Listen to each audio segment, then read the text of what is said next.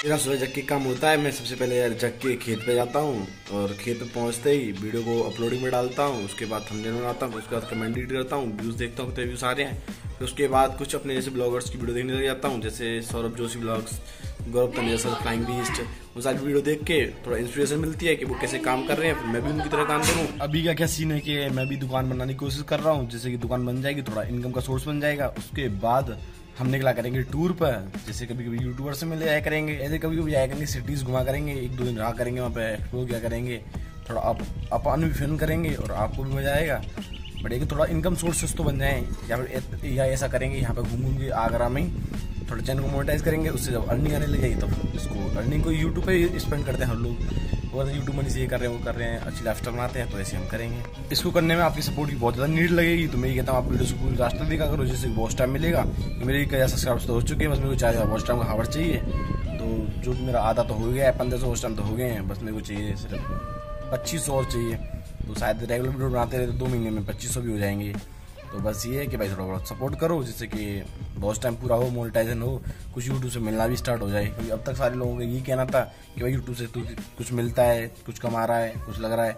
तो हम ये भी कह दिया करेंगे भाई यूट्यूब से पैसे मिलते हैं इस वजह से वीडियो बना रहे हैं। गाय ये लोगो मैंने जिस दिन लगवाया था मेरे को तो गंदा लग रहा था कि मेरे यूट्यूब का लोगो बहुत बड़ा है ये बहुत छोटा है ये फ्रंट सही नहीं है बढ़िया मैं देख देख के पता नहीं क्यों मेरे को अच्छा लगने लग गया है।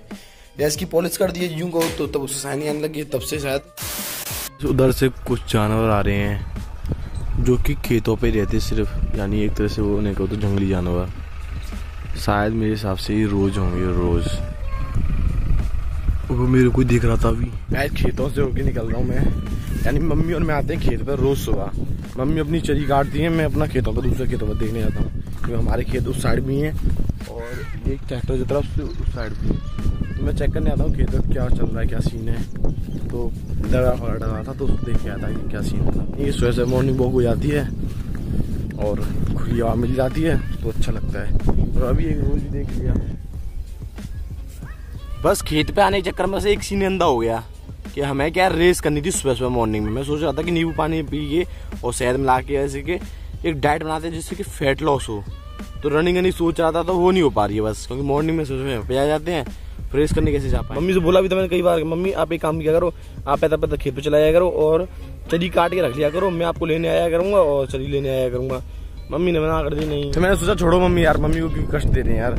तो अब दुकान आ रहे हैं दुकान बन जाएगी उसके बाद प्रॉपर एक दिनचर्या बनाया करेंगे सुबह इतने बजे जगना है ये करना है फिर दुकान पे जाना है फिर दुकानदारी करनी है फिर बारह से चार पापा बैठेंगे पाँच बैठेंगे।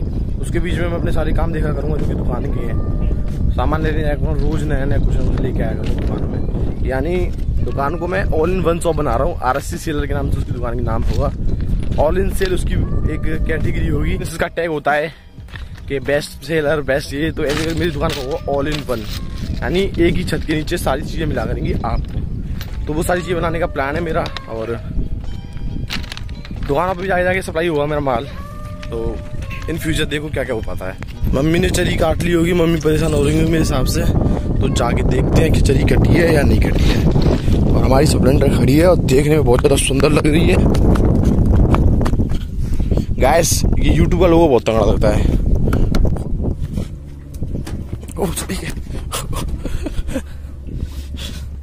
एक हाथ ब्लॉगिंग करने का घाटा, बच्ची की गाड़ी, इसमें घुस जाती। है गैस ब्लॉगिंग बंद करता हूँ।